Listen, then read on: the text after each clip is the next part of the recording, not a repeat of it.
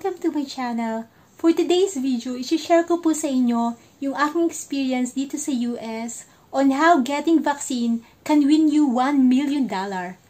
And also, isi-share ko din yung experience ko, my first ever TV or interview in TV news here in US, especially here in Massachusetts.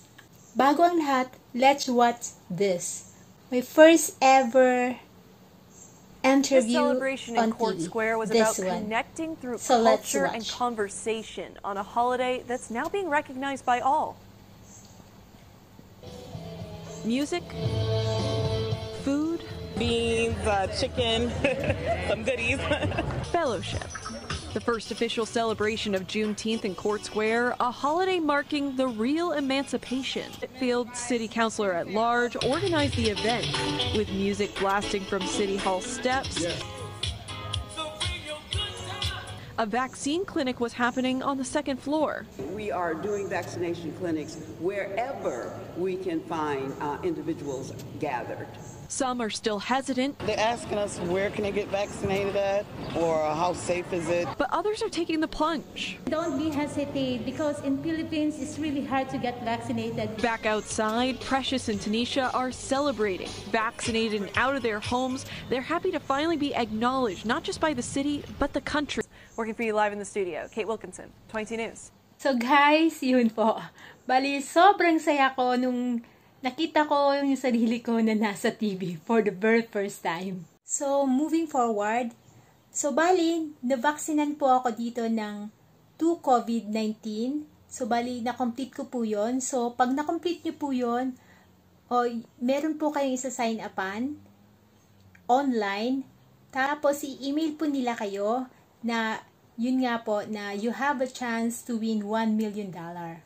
So, dito, napaka-fortunate yung mga tao dito kasi free at the same time napakadali. So, lahat dito is uh, kahit saan ka pumunta is mag-walk-in ka lang, mababaksinan ka na nila.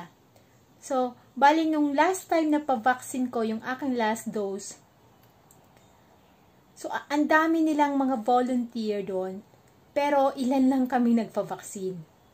So, really, they're encouraging people here to have COVID vaccine shot, pero ang dami pa ring afraid, ang dami pa ring natatakot, maraming hesitant na baka, syempre, baka hindi daw safe, mga ganyan, ang dami nilang mga reason behind. So, bali, kaya yung government dito, nag, ah, parang nag, ano sila ng campaign para ma-encourage yung mga people na magpa-vaccine, na magbibigay sila ng 1 million each week para lang ma-encourage nga yung mga tao na magpa-vaccine. It's like uh, parang lottery or lottery nila or talagang parang giveaway.